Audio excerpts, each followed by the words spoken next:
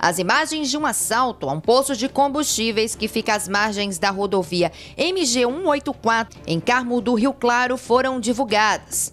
Repare que um dos funcionários do posto mexe no celular enquanto conversa na porta do escritório. De repente, outro funcionário chega ao escritório desesperado.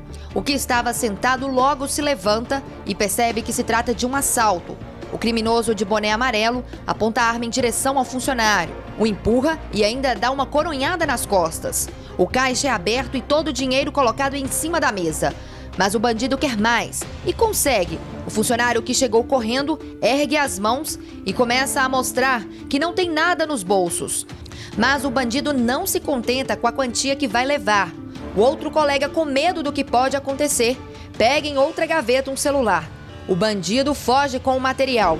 De acordo com a polícia, os criminosos levaram cerca de 400 reais e o celular de uma das vítimas. Além do celular, os criminosos fugiram com cerca de 400 reais.